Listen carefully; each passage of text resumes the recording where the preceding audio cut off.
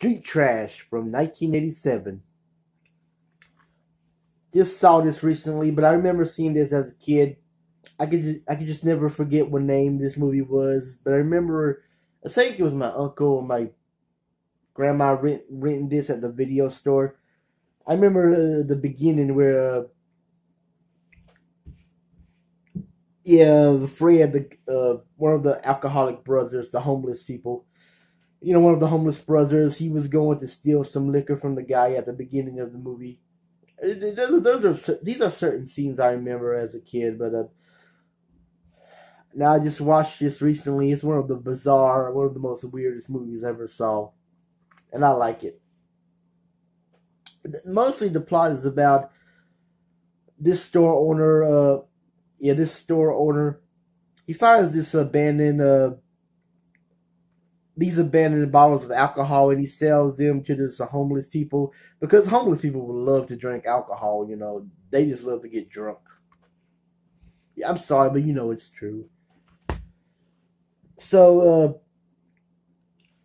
whenever uh, they take a sip of it, they start to uh, melt. Their bodies start to explode. It was this uh, gruesome fashion. If you watch this movie, you know what I'm talking about. It is so hideous, but in a comical way. The movie is also about these two uh, alcoholic homeless brothers, uh, Fred and uh, Kevin. Mostly Fred, the guy with the beard. They're just coping with this, uh, you know, they're living in a junkyard and they're just coping their situation. And uh, the youngest one, I think, uh, Kevin, he has a romantic interest in this. Uh, I don't know if she's Korean or Chinese. The secretary that works for uh, I forget his name, but the actor's played by this bigger fat guy, Pat Ryan, the late Pat Ryan, who you might remember in the Toxic Avenger as the evil mayor. He plays like the owner of this junkyard. He's kind of a weird character. He always plays uh, weird characters, but uh, anyway, that's and they also uh, I think it's the other side of the junk, junkyard. I could be wrong, but uh, there's this character played by uh, Vic Noto. And by the way, none of these uh, actors are real celebrities. Uh, they just, I think they just did one movie. They really haven't acted much, but I'm just going to say some of the actors' name anyway. But the character Bronson, he's this big, former Vietnam veteran that on the other side of the junk, junkyard, he's like the boss, he's the leader. And one scene, he kills this guy. Uh, he kills. No, there's this couple. Uh, a boyfriend and a girlfriend. Uh, they're driving, and the boyfriend is trying to be nice, but the girlfriend is, "Come on, this guy looks dangerous." And the guy Bronson he kills him, smashing his head, smashes his head in front of his car. Oh, it's just that guy is a uh, he's a former Vietnam Vietnam veteran. You know they're crazy. That guy is fucking crazy.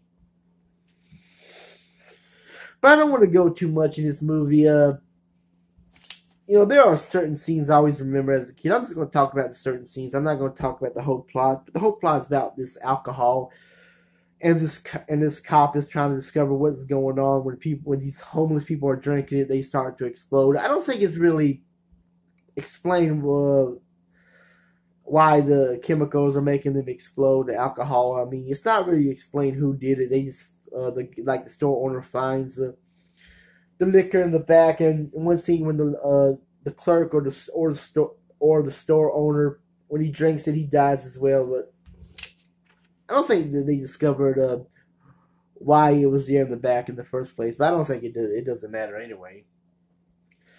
But there's a scene where this old oh, sorry, I have to uh, hate when I do that. I just hate when I do that. But anyway, this one bum, he goes on top of the fire uh, escape. You know those stairs when when there's a fire, you have to climb down the stairs on a fire escape. I think that's his home there. But anyway, he talks to this pussy cat. He always calls this pussy cat pussy. Hello, pussy. I'm to drink my uh, liquor, pussy. But when he drinks it, he explodes.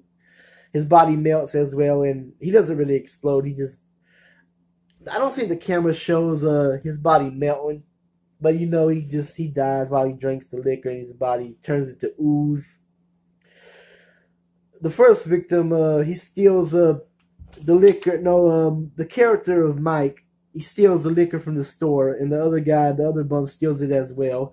But when the bum drinks it, he sits on his toilet, abandoned toilet in this uh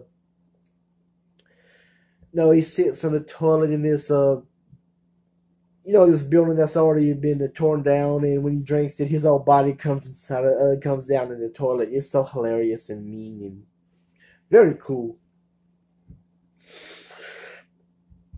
What else do I remember? I remember uh, the black bum. He goes to the supermarket to steal stuff, and the white lady catches him. and is like, "What are you looking at, you honky?"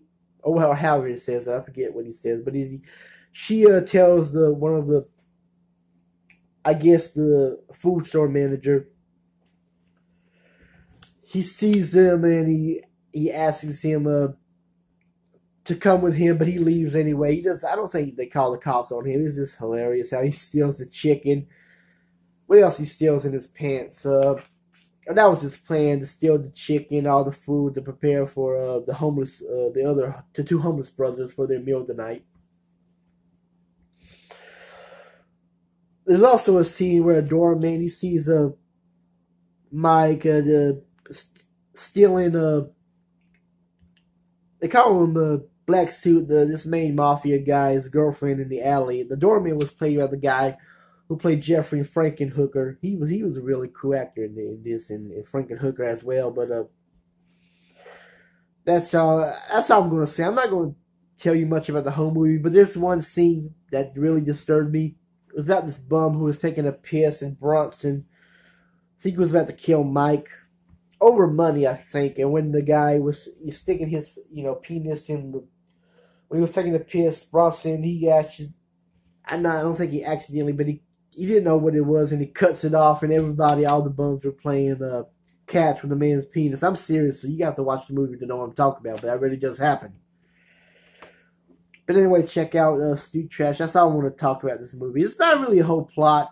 It's just bums. Uh, they drink this booze and they melt. Their body dies from it. That's that's basically the plot of the movie. Like in the Blu-ray, you get these uh, little uh, packages. That's what the liquor was called. I can't pronounce it, but that's what the liquor was called in the blue uh, in the movie Street Trash. Got this other cool book